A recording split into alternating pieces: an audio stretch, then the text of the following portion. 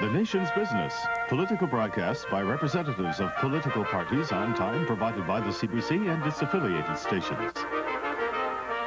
Tonight, on behalf of the Liberal Party of Canada, the Right Honourable John Turner, Leader of the Opposition.